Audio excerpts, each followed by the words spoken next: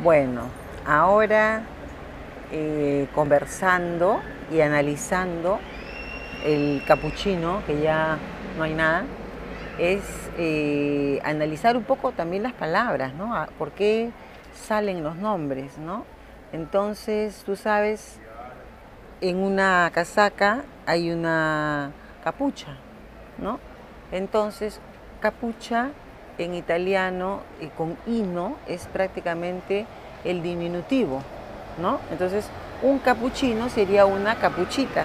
si tú analizas el café capuchino, el que te mostré hace un momento, tiene, ¿no? Como una gorrita encima de la taza. Por eso se llama capuchino. Algo más para tu libro. Fíjense.